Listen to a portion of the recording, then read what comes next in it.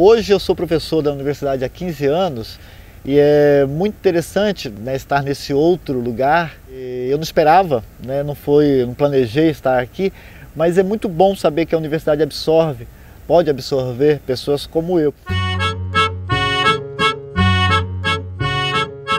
Era no curso de comunicação social, na época, que a gente tinha uma maior, uma maior e melhor formação nas áreas de ciências humanas, sociais. O momento que a gente vivia era um momento de ditadura militar, final dessa ditadura militar, e a universidade vivia um momento de abertura, de efervescência cultural, né, de novas de uma discussão forte sobre os rumos da, de uma sociedade democrática e lá é, fiz parte então de um grupo que acabou sendo nomeado né, pejorativamente como estigma a turma do balão mágico e nós fizemos muita coisa posso citar além dos vários grafites pela universidade que era o centro de arte em particular era todo grafitado.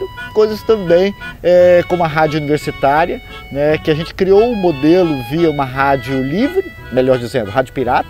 A gente colocou essa rádio na cabine 8 da Biblioteca Central com o apoio da biblioteca, com o apoio do Departamento de Comunicação e também um certo apoio da universidade até onde ela pôde ir. E os microfones eram abertos, livres, então falava-se muita coisa, muita coisa legal, muita coisa que não se podia ficou significativo, né? Uma vitória contra a, a força da opressão e se até hoje é assim, né? Imagina naquela época ainda com a ditadura em vigência. Então a gente conseguiu uma grande mobilização e isso gerou depois um, um compromisso da universidade de criar a rádio universitária que hoje está né, tá aí presente. E eu acho muito importante a universidade, o momento que ela vive, né, de mudanças e a mudança hoje ela vem muito em função da reserva de vaga, das cotas para a escola pública e, e negros, e indígenas, apesar de ter uma luta muito grande para conseguir implantar isso na universidade,